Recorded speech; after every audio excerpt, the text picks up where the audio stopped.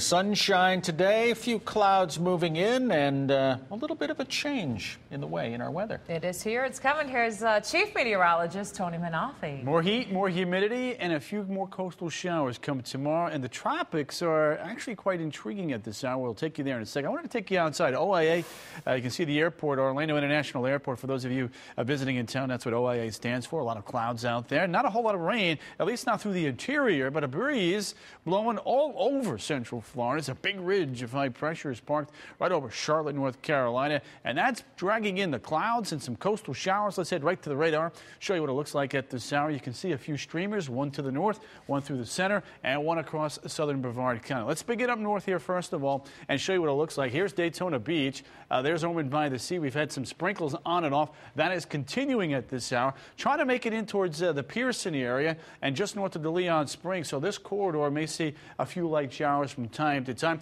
We head just a little bit farther to the south. Here's New Smyrna Beach. There's Deltona. Uh, clouds thickening. Could be a few sprinkles from time to time over the next half hour to 45 minutes. This little plume right here is from a smoke plume. We've got a little brush fire ongoing there, but there are some showers nearby which will help the cause. You can see a little spoke of some green here. Uh, that's a little ribbon of moisture coming in off of the uh, uh western tropical Atlantic. That will move over the fire and over uh, northern Brevard County. It's also knocking down the temperatures Clear across central Florida with that onshore flow. Temperatures are running in the upper 70s to the low 80s, with the ocean water temperatures running near 75 along the coast. That will keep our coastal temperatures up. Inland, upper 50s, low 60s. Here's a big ridge of high pressure. Scattered showers continuing, not just through today, but again tomorrow. Let's spell it out now with Future Scan. And note that flow due east by 3 o'clock tomorrow afternoon. The model's trying to pick up the intensity of the rain. Not quite sure that I'm buying that. But then you can see more of a south-southeasterly flow flow and then a southwesterly flow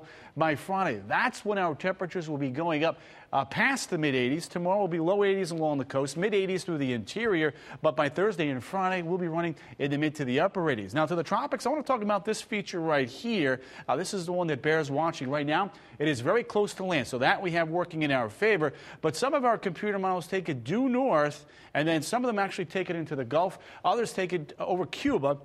So we'll have to watch this one over the next couple of days. The late afternoon runs, however, try to take it westward. That would be a perfect scenario for us. That would mean that we wouldn't have to worry about anything down the road. But we want you to check back in. Again, in October, you get fronts, you get fast-moving tropical features, and it wouldn't happen until sometime by the middle of next week. This weekend, however, Jim and Martha, we do get a cold front. We fall back into the lower 80s by Sunday. Thanks, Tony.